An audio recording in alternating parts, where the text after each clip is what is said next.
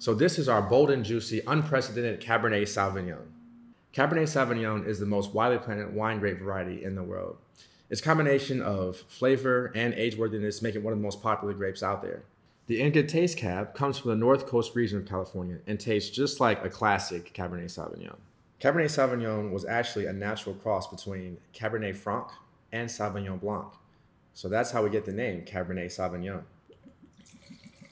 Oh, I love the bouquet on this one right here. This Cabernet Sauvignon is it's delicious.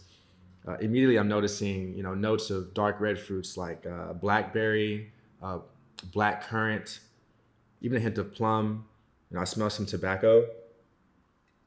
So as I taste this, I continue to get the same flavors that I smell within the aromas, but I also noticed a significant essence of vanilla, which is a flavor that you tend to get when you have red wine that has been aged in oak barrels. So uh, if you ever are noticing vanilla or cedar uh, flavors in your wine, you're likely having red wine that was aged in oak barrels. So the intense flavors and tannins of a red wine like this tend to pair well with heavier dishes, as many people are aware of. So think things like ribeye steaks, burgers, and for our non-meat eaters out there, you know, dishes that you're complementing with rich, creamy sauces as well. Cheers! So when you open this wine, make sure to tag us on social media at In Good Taste Wines and let us know what you think. Enjoy.